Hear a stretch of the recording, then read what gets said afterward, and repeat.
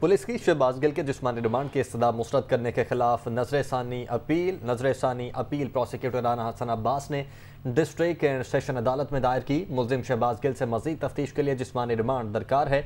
यह दरखास्त का मतन है। जुडिशल मजिस्ट्रेट का हुक्मनामा मुअत्तल करके मजीद जिसमानी रिमांड दिया जाए। ये इस्तः की गई है। पुलिस की शहबाज गिल के जिसमानी रिमांड की इस्तः मुस्तरद करने के खिलाफ नज़र षानी अपील और नज़र षानी की अपील प्रोसिक्यूटर राना हसन अब्बास ने डिस्ट्रिक्ट एंड सेशन अदालत में दायर की। इसी हवाले से तफसीला जानेंगे। आमिर से दबासी से जी बताइएगा।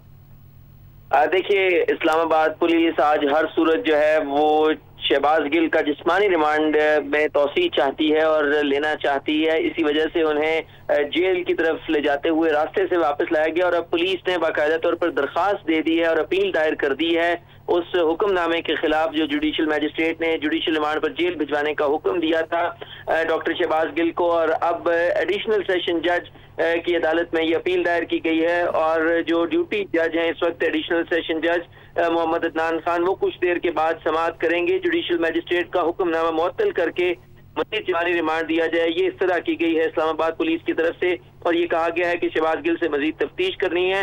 लिहाजा जिसमानी रिमांड ज़रूरी है। और इसकी अपील जो है वो दायर की गई है सेशन कोर्ट में।